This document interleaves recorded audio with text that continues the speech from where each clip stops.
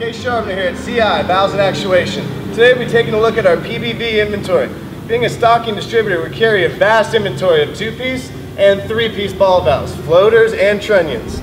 Now these range anywhere from 2 inch to 24 inch, 150 to 600 pound pressure class, but we also have the 900 pound pressure class for your 2 inch to 12 inch. Now, I don't know about you, but that's a whole lot of balls. Enough balls to fulfill your biggest ball valve request. Say that five times fast. Biggest ball valve request. I guess it's not that hard. So, give us a try next time. CI, valves and actuation. Balls in your court. What will you do? Saving you time and money.